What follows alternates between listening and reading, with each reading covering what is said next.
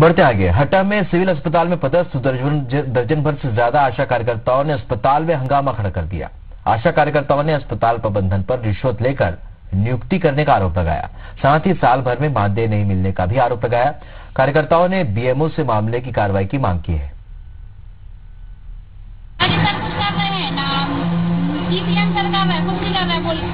रहे हैं? हमारा चला गया, हम कहीं और चले गए टीका डीएम में सर चलेगा बताओ हम लोग क्या करें।